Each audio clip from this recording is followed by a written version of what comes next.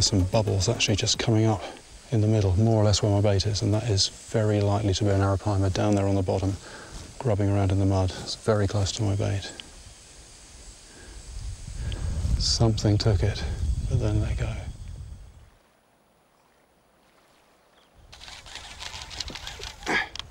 Oi.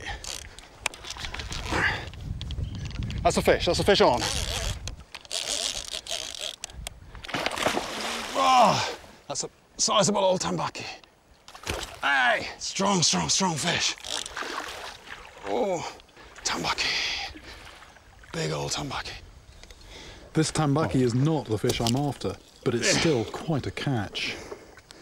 This is a relative of the piranha, but instead of having huge incisors, it's got these enormous grinding teeth on the jaw. The closest thing in nature to the teeth of a tambaqui is the, the teeth of a horse.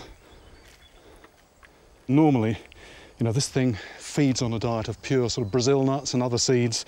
Very, very good flesh, very prized for its eating, but also really, really strong. One of the most powerful fish, pound for pound, that there is anywhere. Still lots of energy left in it. Good to see it go back.